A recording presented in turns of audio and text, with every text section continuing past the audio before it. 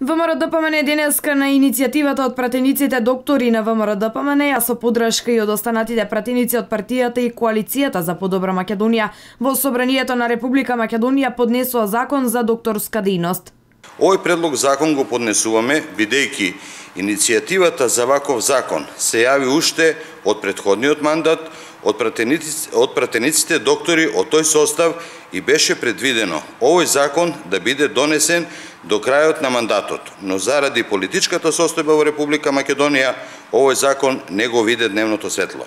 Георгиевски посочи дека како најголема придобивка од донесувањето на овој закон е предвиденото вреднување на докторскиот труд, односно утврдување на висината на платата преку колективен договор, која што би ја земале општите доктори и докторите специјалисти од примарното, секундарното и терцијалното здравство. Со овој закон се предвидува платата на докторите специјалисти да изнесува 4,5 просечни плати или 100.000 денари нето плата, додека пак платите на општите доктори да изнесуваат 2,5 просечни плати, односно 56.000 денари нето плата.